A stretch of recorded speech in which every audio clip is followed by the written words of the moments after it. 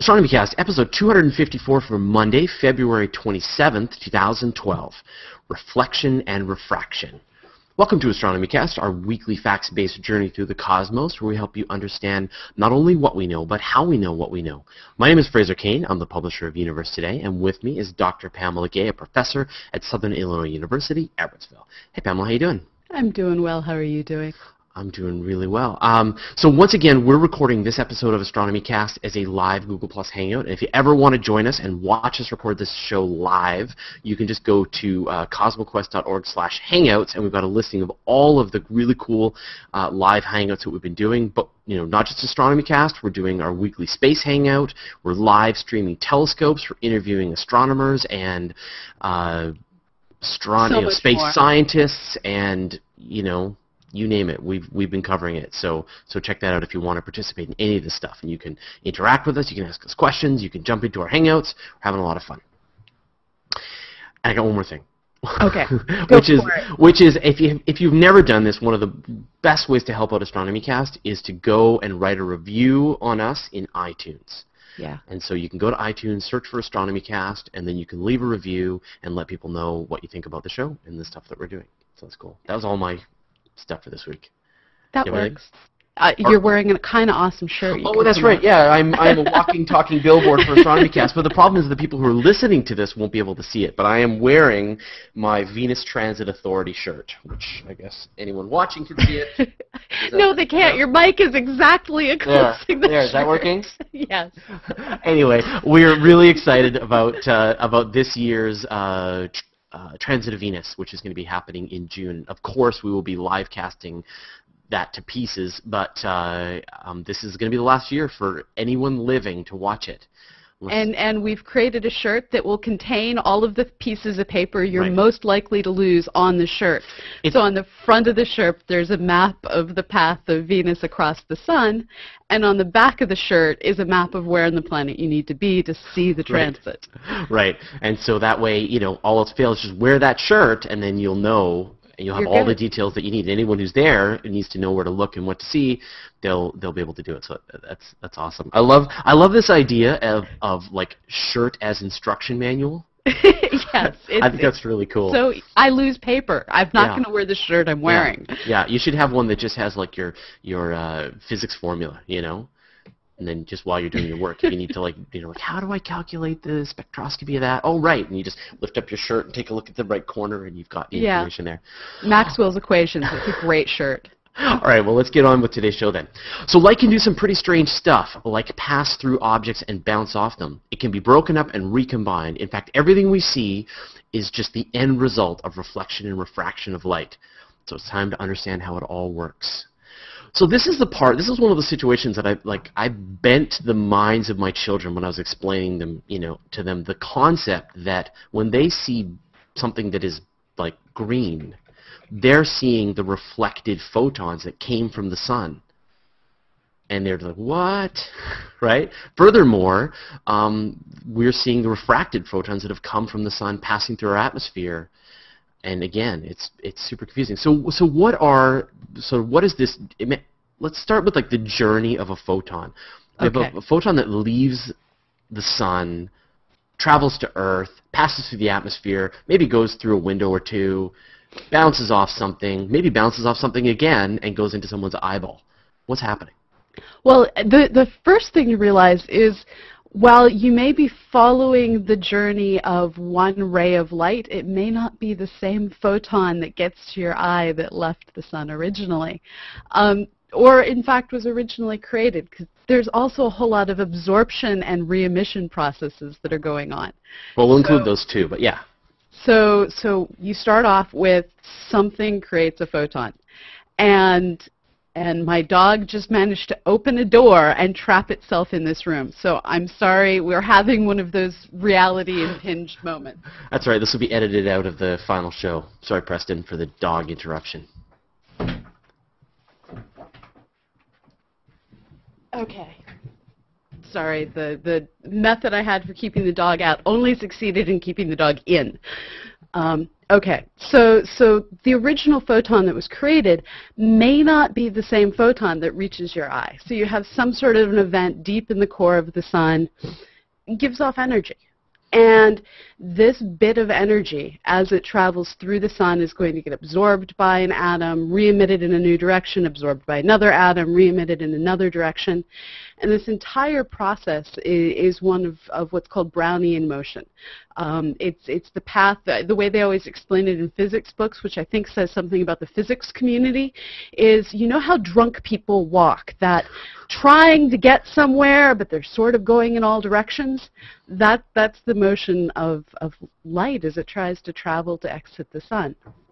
Well, once the light finally breaks free of the surface of the, the sun, then it, it's mostly a clean path straight to Earth. So assuming it doesn't end up uh, hitting dust, doesn't end up hitting, well, Mercury or Venus or anything else that lies between us and the sun. Spacecraft. spacecraft, uh, right. yeah. SOHO does inter- intercept a fair amount of light. SDO intercepts a fair amount of light. Yeah. Um, but assuming that it, it, it hits a straight path towards Earth, then you'll have a photon, and this may be the billionth photon that has been part of this journey of a, of a piece of energy, um, it's going to hit the surface of our atmosphere.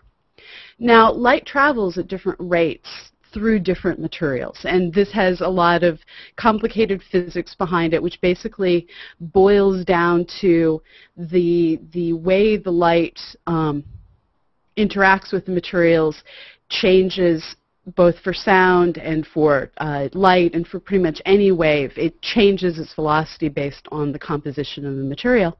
Right, and that's why we always say the speed of light in a vacuum. In a right? vacuum. We always add that asterisk, right? In a vacuum, speed of light through glass is different than the speed of light in a vacuum, and that's why they, you know, physicists have said they can slow light down to the walking speed. Yeah, and, and it, it's not that hard to get light s- slowed down to the speed of a Cessna aircraft just using hot rubidium gas. Um, so different materials cause light to travel at different speeds, and different wavelengths of light respond in different ways. So this suddenly gets very complicated. Um, but looking in general, when light hits a material that is in a vacuum, it's going to slow down and this is where something that, that I consider a bit of the universe conducting black magic occurs. There's this property referred to as Snell's law that basically says if you have light at point A and you're trying to observe light at point B, the path the light is going to take between those two points is the path that causes it to have the shortest journey time. Now, the thing that makes this kind of black magic is if you can imagine that the light is passing through a series of different materials, pocket of hot gas, pocket of cold gas, vacuum from the sun, or vacuum from outer space, and we're looking at sunlight. Well, as the light travels through each of the materials, its speed is going to vary. And just as you can imagine driving through a city and you have to make these choices. Do I get on the highway? Do I get on the main street? Do I take the back roads with lots of stop signs? And you optimize your path not for the distance you travel, but how are you going to get there fastest? Well, light does that same optimization, not what is the shortest trip I can take, but what is the fastest trip I can take. And so when you look at the passage of the light between those two points, the light is actually going to bend and spend a longer distance in the higher speed material and a shorter distance in the short in the um, slower speed material to optimize its speed. Oh. And it, it's one of those, wait, how did the light know ahead of time that this was the correct option to take? And, and it's a matter of lights going in all directions. Right, so hold on. So you just like blew my mind there. So let me just take a second to, to unpack that. So if I understand yeah. this correctly, right, that when we see light moving through water, and we see, you know, or like we see like a, you know, you take like a stick and you put it into water and, and mm-hmm. you can mm-hmm. see the stick up on top of the water and it's sort of at one angle and then as you're seeing the stick through the water, it's shifted to this other angle. Yeah. And so in other words, we know that the light that is showing us the stick has bent in the light. And so what you're saying is, is that light has chosen this angle because this gives it the shortest travel time? Yes, exactly. And it could be a further travel distance but at the end of the day, it's most concerned about the shortest travel time, and that's why we see it bend. Yes. Whoa. Yes.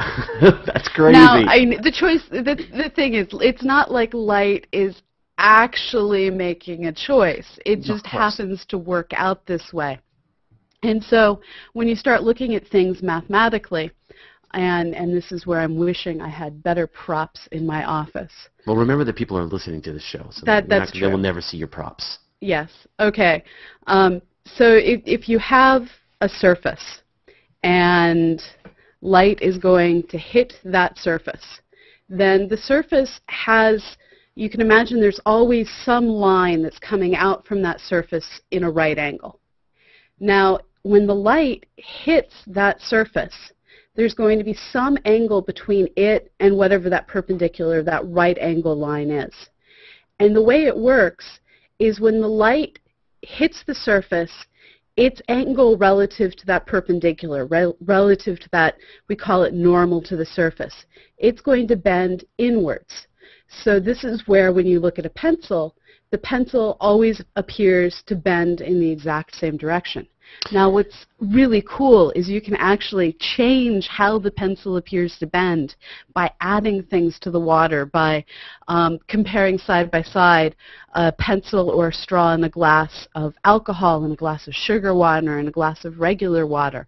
It's very small differences, but it's still just neat that we can actually play with the path of light. And so if you could actually see the light refracting through that, that uh, rubidium gas, you would get a different angle. You would get a completely different angle. Right. And what what's also interesting about this is it also varies with with the color of the light that's doing this. So say you had a red laser and you had a green laser.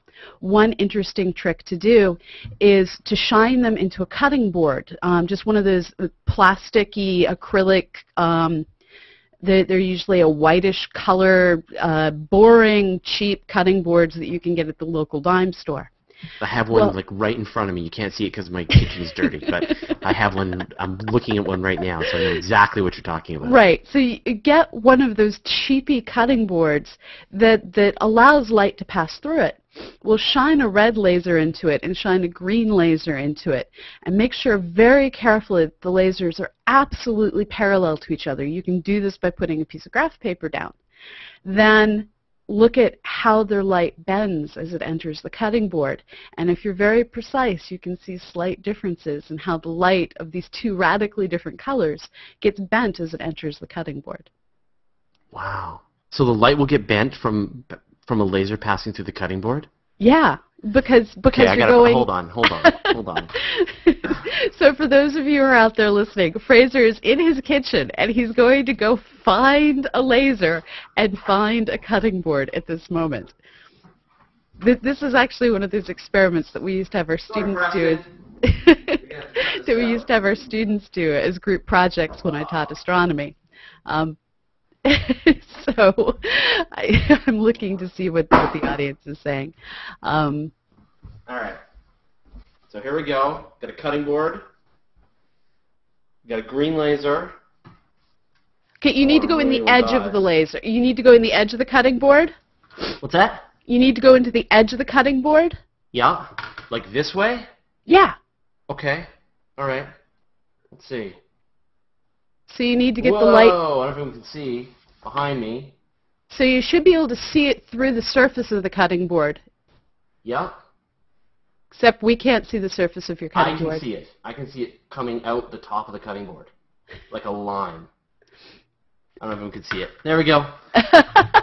well, well, I'll I'll try and do this experiment. I'll go get a cheapy cutting board and post pictures of it later. The fact that I can actually do this, though. I love lasers. So, so uh, to do this experiment well, you you need one of the really cheap cutting boards that's also like a quarter of an inch thick, and you literally shine the laser into the edge of the cutting board, and you can watch its path across the top of the board. Yeah, I could actually see the line of the of the laser across the top of the board, so that's really cool. All right. But- but- I just don't have a red laser. But this is this is actually one of those things that allows you to understand how prisms work. Because if you think about um, prisms that create beautiful rainbows, a lot of people buy them as wind chimes and hang them in their windows and stuff. this is a case of light entering a material, in this case glass or crystal, and when that light ray of white light of all the different colors combined, usually a beam of sunlight, enters the prism, all the different colors get bent at slightly different angles. And it's that difference in all of the angles that things are getting bent that ends up leading to beautiful rainbows, ends up leading to um, being able to do spectroscopy. And in this case, it's a matter of the shorter wavelengths are the ones that are getting bent the most, the longer wavelengths are getting bent the least, and um, the, the entire amount that things get bent determines how big a rainbow you're able to produce. Right, and so you've got this situation where you've got the, the sunlight coming from the sun that contains photons of every color they're all hitting that medium, in this case, the glass of the of the prism, yeah. and they're getting ref- refracted at different angles because of their wavelength, and then they're coming out the other side and going in their various directions. So. Now this is also the problem with refracting telescopes. So if you have a nice little cheap doesn't have fancy what are called apochromatic lenses. If you have a nice normal cheap refracting telescope, it will have a lens for the eyepiece, a lens for the objective. That's the end that the light comes in through. Um, and as as light passes through each of these different lenses, different colors get bent, bent different amounts. So you end up seeing um, different colors and focus in slightly different places, which, which causes what's called chromatic distortion. Now, we get around that by using um, compound lenses that use multiple materials and try and compensate for all of that. It makes the telescopes extraordinarily expensive, um, but it's usually worth it to spend all that money for an astronomical view. And it's sort of about trying to bring the light back together, right? Right. Yeah. Right. So okay, so uh, we got a little off off track here. So we've talked about the light coming through the atmosphere or glass or something like that, and it's getting refracted, and we've talked about the physics of that. Now, what about the reflection part? So the reflection part is actually way more complicated than anyone would ever imagine. It's one of those things that when I first saw it completely explained out in quantum mechanics, I sort of cursed the universe for the complexity. So when we normally think of, of reflection, you think of like a photon of light comes Bouncing. down, bounces off of the surface, continues on like a pink. No. No, that no? has nothing to do with it. Nothing? No, you actually, okay. photon comes down interacts with a top level of atoms in the material, has all sorts of complicated things that involve skin effect and the electromagnetic fields and reversing of polarity, and a new photon comes out in the opposite direction with a completely different phase of the first photon. Um, and, and so it's actually a highly complicated process. Can you, like, I mean, we don't want to, like, completely gloss over it, but so are you saying that reflection is but but it's not absorption, right? It's not like the photon is being absorbed and a completely different photon is being emitted. Yeah, it is. Is so all reflection is absorption? Is that what you're saying? So it's it's it's it's a interaction with the surface of the material process. So the the incoming photon comes in, interacts, new photon comes out. Completely different photon. Completely different photon. Different right. phase. A brand new yards. baby photon. Yeah. And and but can the because I mean, from what I, you know, what we always talk about, you know, we say like you see a tree and the tree is green, and so you're seeing yeah. like all of the light from the sun is hitting, you know, the, all of the colors of the sun are hitting that tree, and then we're seeing the green a prevalence of green photons being emitted in our direction, right? What so what so what we're seeing is is the um, material that the leaves are made of is prefer- preferentially re-emitting green photons based on all of the stuff that's hitting during that skin effect at the surface of the leaf. And so if it's getting hit by more colors than just green, is it warming up? Is it absorbing that? Is it turning it's, the it's excess absorbing, into heat? it's warming up, it's undergoing chemical processes. This is where you get into the whole ADP cycle that some of right, us were forced to memorize. Chlorophyll, it's making energy. Yeah. Right, right. But just like a regular object. So, but what about something like a mirror that is that is going to be reflecting the light, you know, almost, you know, some object with a really high albedo? So, so reflective surfaces, this, this simply means that most of the photons, when they hit that top skin effect layer of the material, are ending up interacting and going back off in, in the other direction in very precisely mathematically described ways. Now, what's interesting is where you have um, diffuse, diffuse reflection. This is where uh, when you look at the light coming off of a surface, it gets completely scrambled, and so you have a surface that's reflecting light, but it's not reflecting an image it's because some of the light's able to actually pass deeper into the surface before it, it undergoes this reflection process and comes back out. So the diffuse reflection is where you're, you're hitting all sorts of different angles inside the material and you're hitting different depths inside the material and so the light is coming out with a whole variety of different angles um, from, from what it originally had going in. So can you have situations where there's like reflection and refraction happening at the same time? I mean, is that where That's that called binoculars. binoculars? Well, right. so, so think about. Uh, grab a pair of binoculars and on a, a daylight grab a friend and go outside and look at a bird and have your friend look at the front surface of your binocular lens and they're going to actually be able to see the daylight scene reflecting back at them because every surface um, every glass surface actually both reflects some of the light and allows some of the light to, to transfer through the material, and the light that's getting transferred through the material is what's getting refracted. So I guess, as always, we try to bring this back around to astronomy. And right. so what are some of the ways that astronomers will use this? I mean, obviously, we talked a bit about the lenses that we use in the telescope. So what impact does that have on like the actual gear that astronomers use? Right. So, so with things like binoculars and telescopes, the, the whole problem of some of the light getting reflected and some of it getting refracted through the surface means that we want to try and figure out how can we use chemistry to alter the surface of, of our lenses to make sure that the most light possible gets transmitted through the material.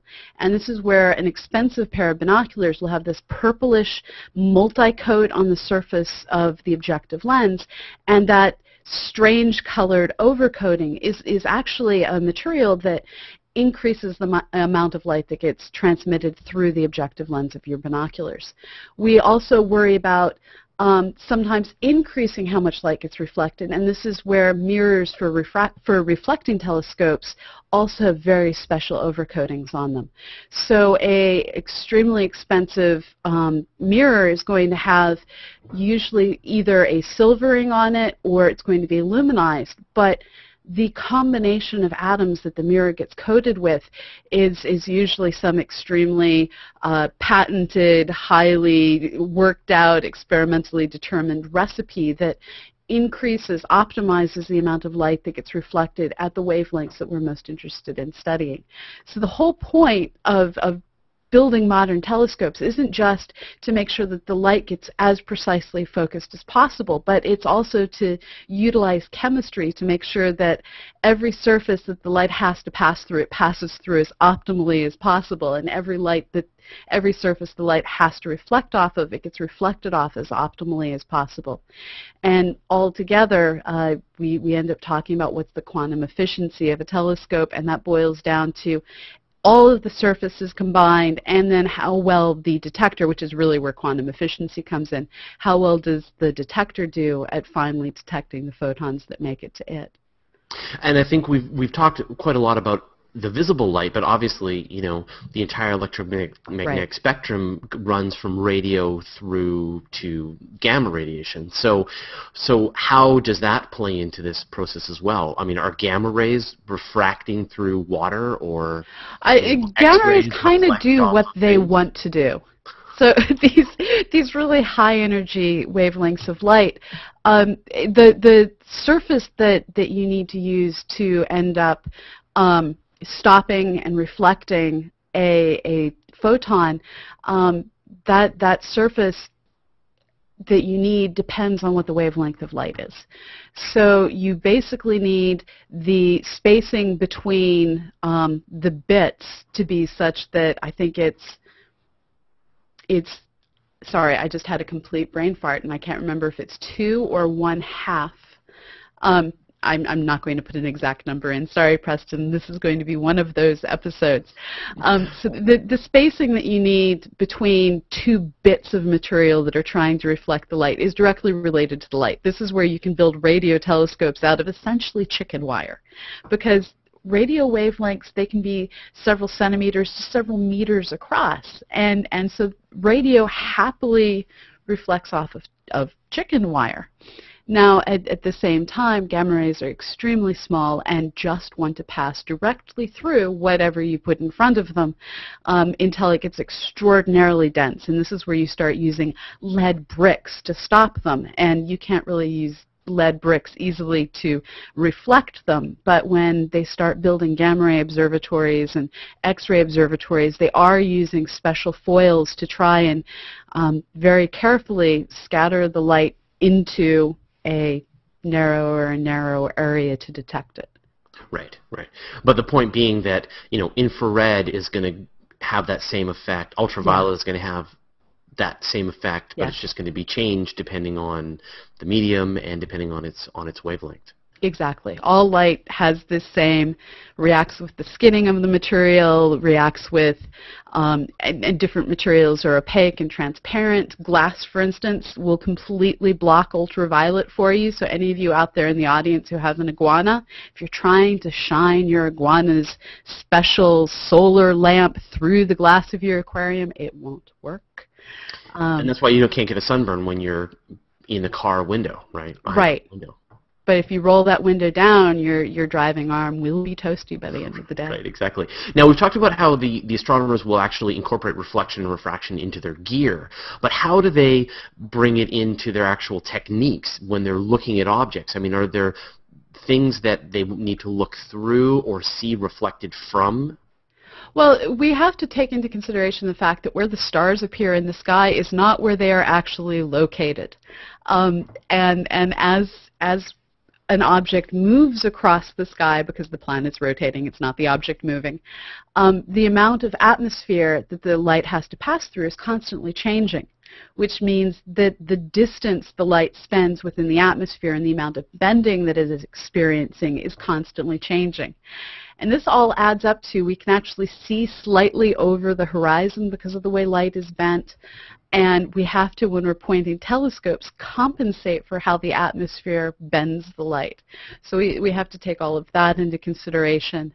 Um, when it comes to celestial, celestial observations, we're actually somewhat more worried about how gravity bends things at time because we can also get the same sort of refracting bending of the light, not just from light passing through a media, but also from light passing gravitationally near a star, a galaxy, something else. Wow. But we've done entire shows on this. It's called yeah. gravitational lensing.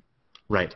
And there's a lot of situations I know where where the reflection of the light, like there's things like earth light shine, echoes.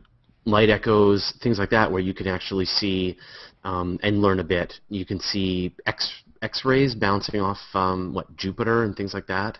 And, and one of the more interesting things that's going on right now is light from Eta Carinae from when it had its uh, 1800s outburst. That light is just now, um, it's hit a background surface, a, a surface of gas and dust, has reflected off that surface, and the reflection is just now hitting Earth. So we're able to re-observe the reflected light of that nova to, to actually get whole new observations out of it. Right. So if you miss it the first time around, you can just wait for the reflection, wait for the exactly. echo. That's really cool. All right. Well, that's great, Pamela. Thank you very much again, and we'll talk to you next week. Sounds good, Fraser. Talk to you later. All right. Save. And you now have seen all the horrible realities that go into filming Astronomy Cast, where I forget things and have dogs invade, and Fraser decides to experiment in real time. So welcome to the backstage of our show. I think it's the first time I've actually dug out the laser to, to confirm something you just said. Always skeptical of your wild claims. Um, it's actually a really fun student project to do because the first time they hold the laser up to the side of the cutting board, they're like, it's not going to bend. And oh my gosh, it bent. And it's really so cool. it's, it's really cool. All right, and I'm going to save another file too. Let's give that six seconds, and then we'll be done. All right. cool. We got 70 comments. Excellent. Cool. Thanks. Okay, so this is the point where we very slowly try and read and talk All simultaneously. the same And time. No, Right. what I'm going to do, I will post a link to the Hangout itself. Um, and so if anyone wants to jump in and ask a question directly, then we'll make that link available and you can come in and join us. Um, and ideally, uh, you have a you have headphones on Yes. so that we don't get an echo. So don't try to play the audio out of your computer unless you've done a lot of Hangouts and you know that it works.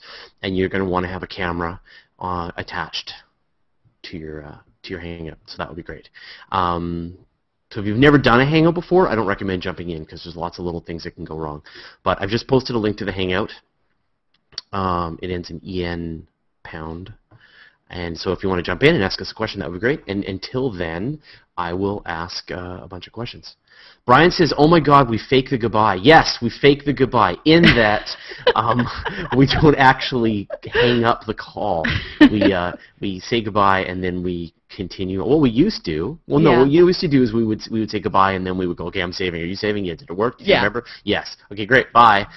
but now, well, we, uh, and and the first couple of hangouts we did, we actually just sort of goodbyed at the end, and and it was kind of weird. It's like, oh, we're not still talking anymore. I lost my Fraser. so it's one of the side effects of not doing this in Skype anymore. Yeah. Um, all right. so you got any more questions? Okay, Fraser Valley Astronomers wrote, okay, I need a ball preen hammer now to unconfuse my gray matter. No, hammers won't unconfuse your gray matter. Books. So, so someone asked, what would I recommend?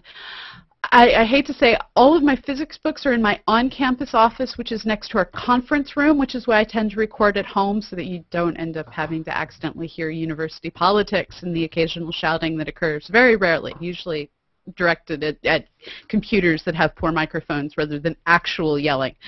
Um, but uh, there, there's, I have a blue optics book in my office. I'll look up the name and put it up in the show notes when the show goes up. So again, if anyone has a question in the comments, we're glad to glad to answer them about anything. You've seen Pamela can handle the questions. Um, as long as you don't ask me for So specific numbers. Karen Carey asked, if I were to run a red and green laser simul- simultaneously through material, would they bend differently? Yes. Yes, they would. Okay, that's it. right. So the point being that you would see The I green you- bends more. Now, what if you went through like glass? Would, Yeah, would same it happen thing. as well? Same thing. Yeah. So if I just, you know, if I somehow lined them up so they're perfectly parallel, ran them through the glass, you would see them bend in sort of two different So ways. I I have probably confused more Home Depot workers with homework assignments that I've given than anyone else. So one one of the things that I used to do is send students to Home Depot to find materials that ref, that refracted light at different different amounts and so they'd go through all of the window and bathroom and cutting board section with their lasers and looking to see what bent the light various amounts and then they'd, ball, they'd buy small amounts to use for their fin- final projects so, um, yeah, go to Home Depot with a laser and just start shining it through the sides of things. And and that's the catch is, so if if this is a cutting board, you want the laser. I have entirely the wrong color background. Let me find something. That's okay. I think we can see it. Okay, so so basically, let's try this and this. So uh, you want to shine it through the side of the material, and you want to do it at an angle. If you go like this, it's going to go straight through. So shine the laser in at an angle, and what you'll see is as the material goes through, it will actually change angle. Oh, okay, okay, okay. All right, let me try that again. Let's see. So shine it at an angle. So there's the there's the light. I don't know if you can see the light coming up through. Oh, hold on. I think your cutting board may be a little too thin to do this easily. Yeah, It works best with those really stupidly thick cutting boards. right. I don't know if you can see the line coming through. Okay, I see it now. So bend your your laser and you'll see relative to the body of the laser, the angle of the laser will be different. Oh, it's so hard. It's really easy to do this on a desk. So you put the cutting board down on the surface and and There. tape There. yeah, so you can see the the angle coming off the laser Yep. is Yep, different. Yeah. It's, it's bending to the left. Yep, and that's exactly what it should do. Science. All right, cool. Well, we've got a whole bunch of people now. We've got a full crowd. This is awesome. so we've got uh, we've got Bart and Brian and Ciro and Paul and Graham and Ryan and Tanner and Thomas. So uh, put your hand up if you've got a question, and I will get to you. A science question. A science question. All right. All right. Bart. Bart, go ahead. Well, it's not so much of a... Uh, well, can you hear me? Go ahead. Can, We can yeah, hear okay, you can hear me. Well, it's not so much of a question. Um, Fraser, I've heard you ask uh, how Kuiper is pronounced in uh, Dutch. Yep. And since I'm Dutch, I thought maybe I can answer that question. I love it's it. Kuiper. Kuiper. Kuiper. Kuiper. As it rhymes with viper snake. Right. We can't. We, you know, in English we have a really hard time with the R part. So, um, oh Graham, I'm gonna. You got a big background noise. I'm gonna mute you. Sorry. Uh, nothing personal. Um, right. So Kuiper. Is that okay? That's the best I can do with my uh, English I like the way Bart's going, no. No, no. that's not. But it's not. Ask Kuiper, André Kuipers. He's in the ISS right now. but it's not. But it's not Kuiper, right? I mean, that's the. A lot of people have been saying it's Kuiper, and, and but it's Kuiper. So that's the best. The best. I can Kuiper is closer, but it's Kuiper. Kuiper. I can't even hear the difference between those two things. I'm so dead. Kuiper. That's the best I can do. I'm sorry. awesome. All right. So Ryan, you had a question. Um, yeah, I had a question. Uh, it's kind of a fascinating subject on reflection, and I, I was just thinking about some things because, you know, I've heard some stories in the past where, um, you know, radio signals were picked up that have bounced off of objects, you know, and, Yeah. and, and, and, you know, we heard like television or radio broadcasts from, you know, a long time ago. And, you know, I had the thought, the random thought of, you know, just, you know, actual visible light. So, in other words, if if let's say you know there was some object that was maybe 110, 115 light years away, like a big mirror, for instance, and you know the reflection of Earth was on there, and so when it came back, we would kind of be able to see uh, maybe the time when the Constitution was signing. Is that something that's theoretically possible? The the pro- it's a matter of just not enough light. Um, so when when we hear reflected radio signals, it's it's from at most somebody's typing loudly. Yeah, I just muted Ciro. Okay. We heard all your Um, typing there. So uh, when when we hear reflected radio, it, it's usually from like a few minutes ago. Um, and, and in fact, if you turn your radio on to someplace between two stations during a meteor shower, you'll hear whistling occasionally. And that whistling is actually reflections of um, radio stations getting Doppler shifted coming off of uh, the ionized material in the atmosphere. Um, so, so it- we're only able to see a little bit back in time, as as in we can look at our watch and go, oh yeah, I was eating dinner when that happened, and that was like I'm still chewing and digesting. Um, so if we tried to to um, look back in time by looking at reflections far in the past, the Earth just doesn't give off enough photons. Um, we can nominally see our sun reflected in the past, but but Earth, there's it's just not enough light. So But but couldn't you, if you could theoretically put a great big sphere around the Earth out to a distance of 300 light years and gather every photon that came from Earth, you would, if you could somehow put it back together, you would you would essentially be able to look back in time, right? You, you'd be able to look back in time, but how would you decouple the the Earth's photons from the sun's photons and everything? Not my else? problem. That is not my problem. yeah, no, it's ju- it's just a matter of losing the light in in the glare of the sun. We're we're tiny. Yeah, no, no, but I mean the point with the, with our concept of the light echoes, right? You're Yeah. seeing light bouncing from some you know nebula, and you're seeing objects that might have happened before you even new to observe it, right? Right. I mean, you're you're being able to kind of look back in time. I always have the conversation with my kids. You know, we say, you know, if someone lived on Alpha Centauri and they were looking at us right now, they would see the Earth four years ago. And So and with light echoes, happening right now. we do use light echoes to look at events that happened in the past, but light light echoes are currently someone's Brad, you're loud again. Um, light echoes are are related to events that are um, extraordinarily bright. So supernovae, false novae, uh, all those sorts of extremely bright events, those give off enough light, but normal day-to-day stuff just doesn't. It's Is that the sad. same for like, um, well, like Kepler, the new Kepler planet, extrasolar planet that was discovered?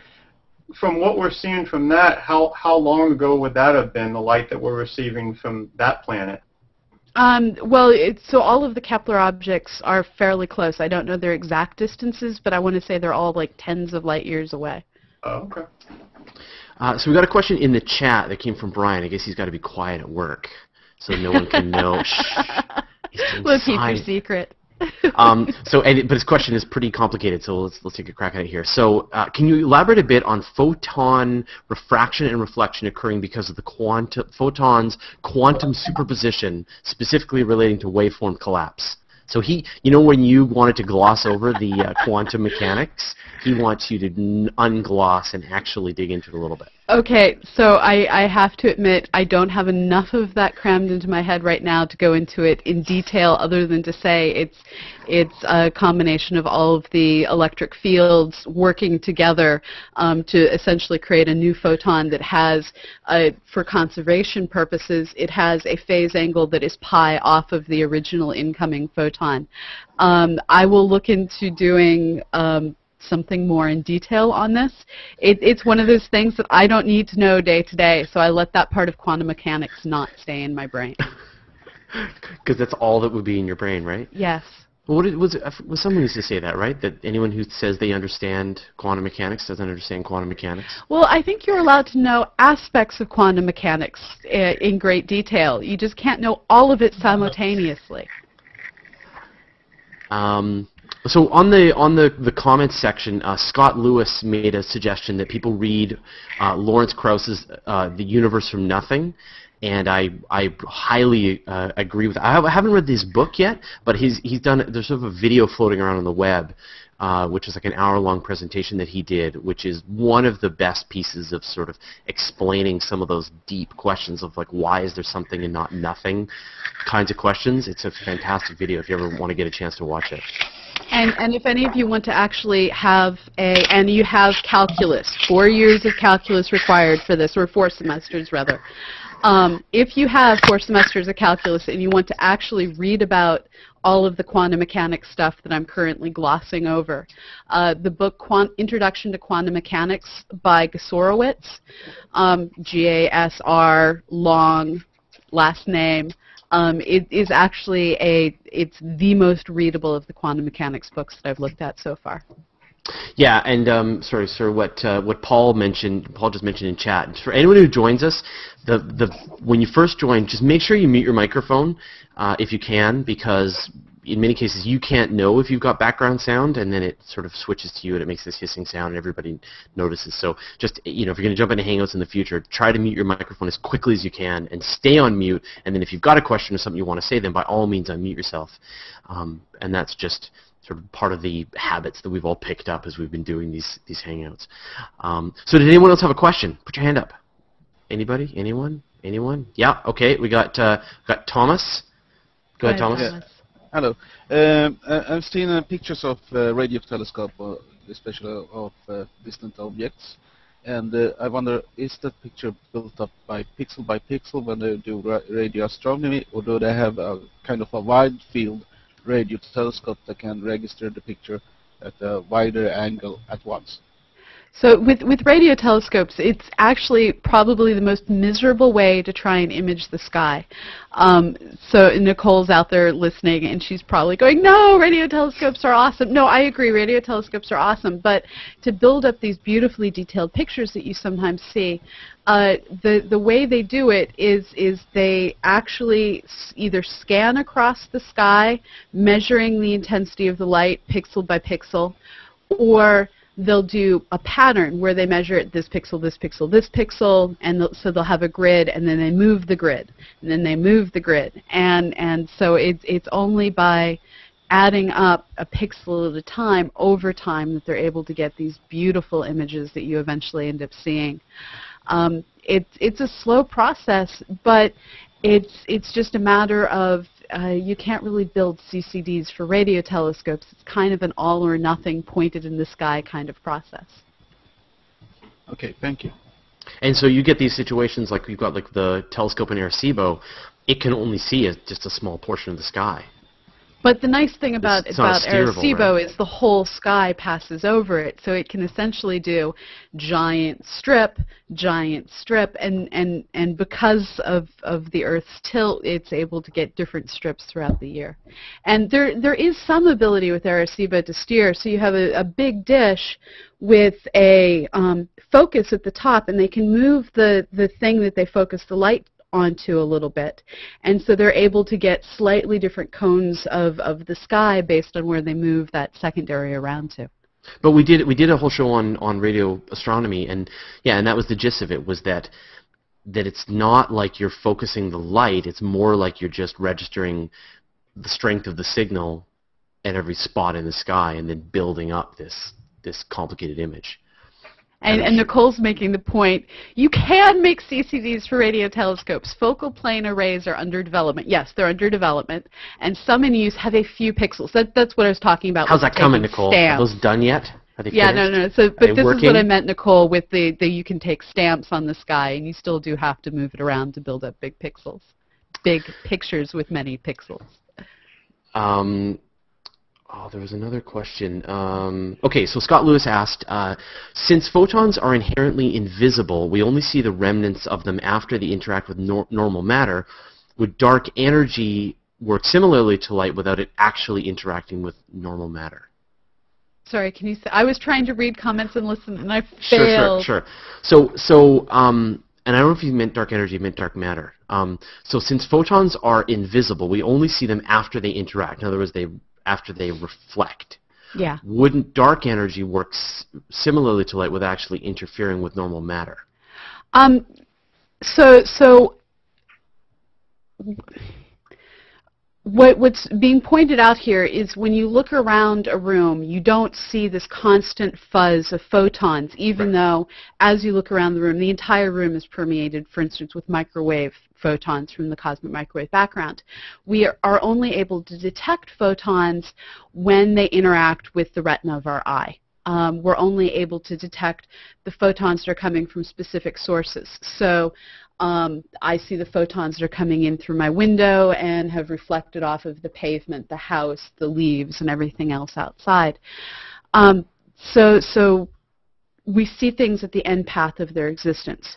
Now, the way that we're able to interact with the entirety of the universe is we look for those photon on, on object interactions. So we detect planets because of how photons reflect off of them or how more often the planet actually blocks photons from the star behind it. So 90% or more of the detections we make are based on being able to see photons being produced, photons being reflected, and photons being blocked. When it comes to dark matter, we only detect dark matter through a fourth method, and that fourth method is how photons are being bent. Now, as, as much as we might want it, we'd, we'd love it if photons were bouncing off of dark matter and illuminating it for us the same way gas and dust gets illuminated. Um, or we'd love it if the dark matter was blocking light the same way dust and, and, and molecules do. But dark matter has what is, is almost a unique property. Neutrinos kind of do this too. of, of not wanting to interact in any way, shape, or form with the electromagnetic force. This, this means that photons and, and dark matter just don't interact with one another, and we don't see the, we don't see the emitting, we don't see the blocking, we don't see the, the reflecting, except in the rare instance we think of very, very, very rare interactions that folks are trying to detect in all of these neutrino detectors that are being adapted to look for specific types of dark matter. Um, with dark energy, we, we don't know yet if, it, if it's a force or a stuff or a quality of the universe, so, so we're not even looking for a particle for dark energy right now. Um, so did anyone else have a question? Put your hand up. There we go. So Matthew, go ahead. Hi. Uh, I actually had a couple questions, if you don't mind answering them. One of them mostly related, one of them only tangentially related. Um, the one that's mostly related is, um, and, and, I asked this in the comments, but I don't know if you guys got around to it, which is, um, are metamaterials, is, is the basis for their negative refractive index because of the way that different materials cause light to refract at different angles. And the, the second question I had is, is for Fraser, which is um, I saw you posted that Mass Effect 3 trailer.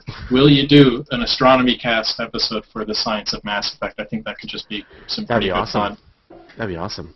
I think we'd need to have a guest. I actually know exactly who I'd want to ask to. Um, yeah, I, I don't let myself install video games except between my birthday on December 12th and Christmas on December 25th because otherwise I will lose my life to them. I learned this in college. Um, so I haven't played. I just Um, cut my cable. That's all. Just don't watch TV. Yeah, if has it, Mass Effect is, in my opinion, the greatest video game that's ever been made.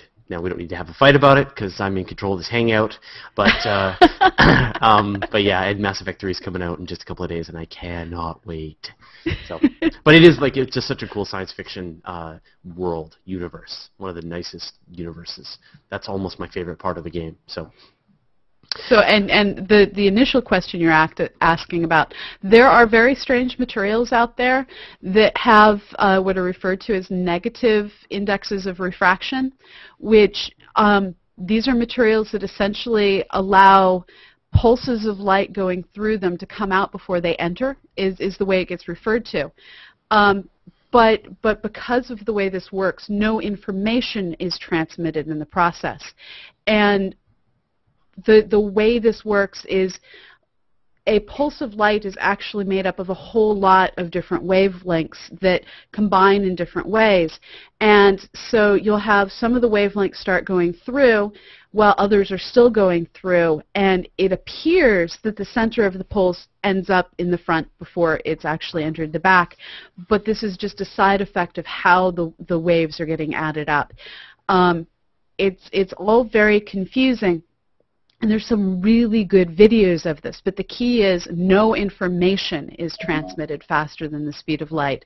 And these are just int- intrinsic properties of how the different wave packets are transmitted through the material. I just want to say for everybody, I think we all appreciate the fact that now that we can see you using all of your hand gestures, that is so cool. only, you know, before only on Skype, I could see you drawing boxes and explaining orbits and things like this, and now everyone gets to see it, which I think is so cool. um, uh, all right, so does anybody else have a question for Pamela? And while you're thinking, Bridget Sharan, Shireen, I have no clue. I'm sorry. I'm just going to mispronounce everyone's name by policy. That way everyone feels equally mispronounced. Sounds good. Um, is asking, someone asked about redshift. Um, uh, does this cause photons to lose energy, and if so, where does it go? Yes, actually, a redshifted photon has a lower energy, and the where does it go is it actually just got spread out. So as our universe expands, you can imagine that in a small universe, you have a wavelength of light that is spread out across this small universe, and it's a happy little blue photon. Now, as the universe expands, well, that same amount of energy is now spread out over a much larger volume. It's now shifted into the red through the stretching process. So you're detecting a lower energy, but that entirety of the energy has been spread out over more of the universe. Uh, so Graham was was the person who dropped in a couple of times, uh, in the Hangout, and he's actually one of the administrators over at the forum that we run.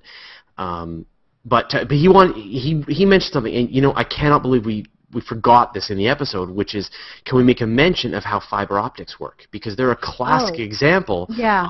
of, of refraction being used for It's actually reflection with fiber optics. It's it's complete internal reflection.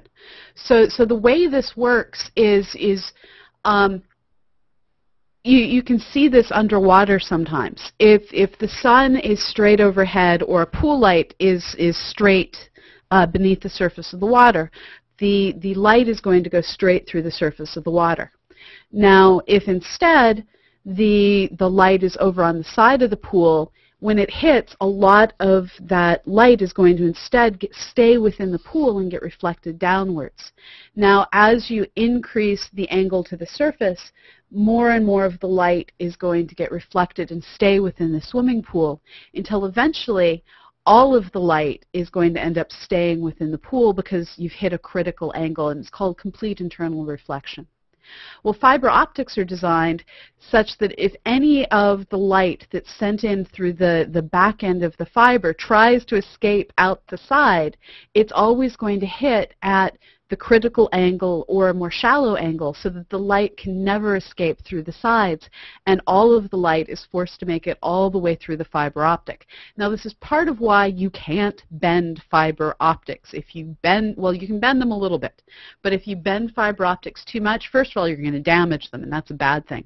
But second of all you're going to make it so that the material uh, so that the light does hit the material at an angle that isn't a critical angle, and so some of the light will escape because you've you've overbent the suckers. If I may jump in on this, um, that's actually that principle is used um, in some instrumentation applications where the fiber optics will have diffraction gratings uh, etched into them, so that as the bend of the fiber optic changes, uh, it actually will reflect the light at different frequencies, and you can use that to measure the angle of bend in the fiber optic. That's cool. I didn't know that. So yeah, learn something new every day. That's kind of awesome. Um, yeah, so fiber optics are, are just designed so that, that the light doesn't pass through their sides. Now another time that they aim for complete internal reflection as much as possible is actually in how they carve gemstones. So when you have a, a diamond that is said to have a lot of, I don't know what Fraser's do. Oh, Fraser has fiber optics. Fraser's just full of toys today. Um, you, we can't hear you. Yeah, I've got a.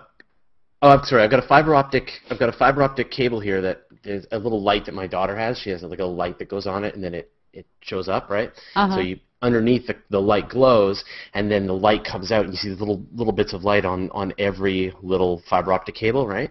And so then I'm I'm bringing together lasers and fiber optics here at the same time. Here, let's see if this works. So, is that working? Yeah, it is working. Yeah. So you And can if I see the accidentally said light. total internal refraction, I didn't mean to. I meant to say total internal reflection. Yeah. So if you can see up close, you can see the laser. That is really cool. You can see the laser coming through the bent fiber optics, and it's being completely absorbed by the uh, by the fiber optics. There you go. And that's why we do video. Um, great. Okay. So did anyone else have a question? I think we're getting sort of the end of this show now. Um, oh, one thing to let people know: last week's episode got corrupted in the recording, so unfortunately, YouTube ate it. it just ate it. And so I went to try and gather and edit the video, and it just said, "Sorry, it's been destroyed." so that's it. Um, so unfortunately, we will never see what happened last uh, last episode. We're sorry. Um, okay, so we have uh, Fraser Valley astronomers who doesn't have a name. Paul, Paul, you should use your name, Paul.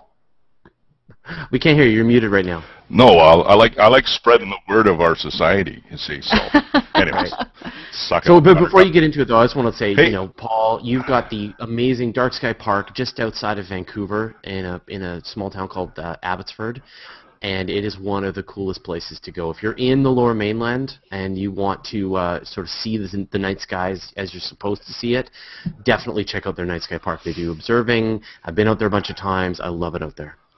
Yeah, and speaking of that, uh, uh, Abbotsford is growing. Chilliwack is growing. So the the section of the area that we can actually see the Milky Way from in that park is starting to, you know, diminish. Oh no. Well, probably over years, right? So uh, just to let you know, I'm I'm working on another dark sky reserve up towards Merritt, uh, Merritt, British Columbia, Oh, and excellent. it should be about 17,000 square kilometers worth of area that would be underneath a dark sky umbrella. So uh, the only thing that would, uh, you know, uh, take precedence over that would be mining. But even then, you have a mining site that would have to use dark sky friendly lighting, which is safer anyway. Yeah. Put the light down on the ground so these guys can see what they're doing rather than getting run over by a tractor because the guy in the tractor is blinded by the light that's shining in his face. Anyway, that's another question. project. You had a question My question. uh, I've been te- buil- building telescopes for years and making the mirrors for Yeah. these telescopes. And here lately, there's been some talk about micro ripple in the surface of the glass. So Uh-huh. Um, I'm just I just want to know if that is something that people should concern themselves with or not, because these coatings that we're putting on the glass now is. Uh, hang on a second. Okay. All right, he's finished. um, I love that dog, but I, you just anyway. Um, uh, the reflective coatings that we're using nowadays is you know anything from aluminum to like you said silver Yeah. to titanium uh, to t- titanium mix with uh, with silvers and aluminums and that kind of thing. So micro ripple really It's it's going to depend on the on on the size of the ripple. Um, so so what I, I'm looking at is that it's coming up with uh, these are usually one millimeter to two millimeter in some materials uh, fabrication errors. Now at that size, you do need to start worrying about it in the surface. Um, oh yeah, but we're down to a billionth of an inch. Billionth.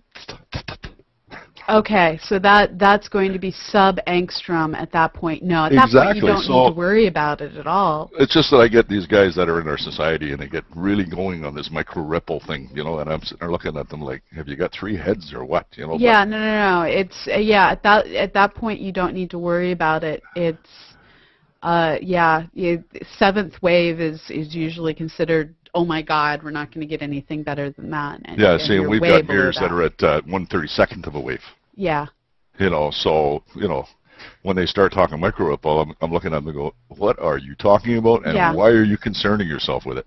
So I just Yeah. thought I'd run that one by you and see what your thoughts were on it. yeah. No, it's it's you strictly do a comparison between what wavelength do you care about, what wavelength is the ripple at, and your ripples are way smaller than your wavelength. Not a problem.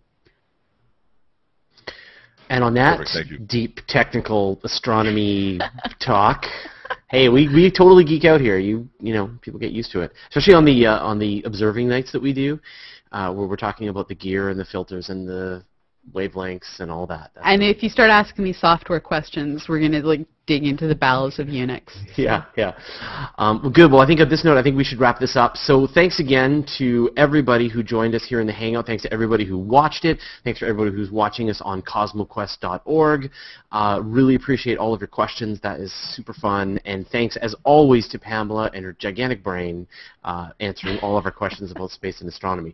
The next, what's the next thing then that we're going to be doing? I guess Thursday the morning. We've got something on Wednesday, right? Yeah, so Wednesday night, and let me pull up the, the times. So Wednesday night at 7 p.m. Eastern, 4 p.m. Uh, Pacific, midnight London, 11 a.m. Sydney. We're going to do the weekly science hour. We're going to have Phil Plait and Alex Filippenko on to talk about the 25th anniversary of 1987A and on modern supernova astronomy. So come join us then.